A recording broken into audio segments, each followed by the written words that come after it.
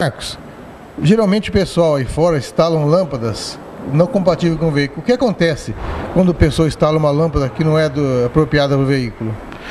Bom, em primeiro lugar que todas as lâmpadas é, que o pessoal põe que não é original do carro, é, exemplo Xenon, que o pessoal acaba colocando, a resistência da lâmpada não é a mesma indicada do, pelo, pelo fabricante do carro. E os carros de hoje é tudo gerenciamento eletrônico, através de módulos.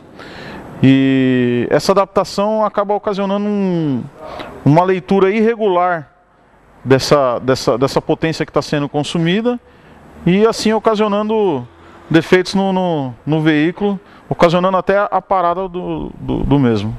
É, é um defeito colocado isso aí, né? O famoso defeito colocado. É. A pessoa quer deixar bonitinho o carro acaba colocando um defeito.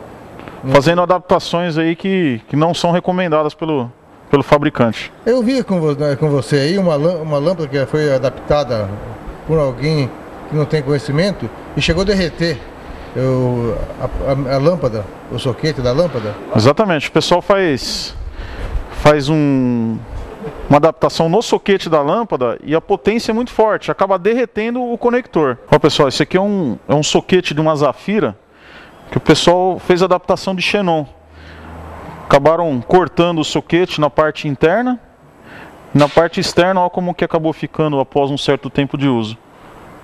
Derreteu completamente o, o soquete do carro. Correndo risco de colocar fogo no carro. Exatamente. Acaba pegando, já vi veículos que pegou fogo por causa da, da, de um soquete desse derretendo. É o barato que sai caro, né? Exatamente.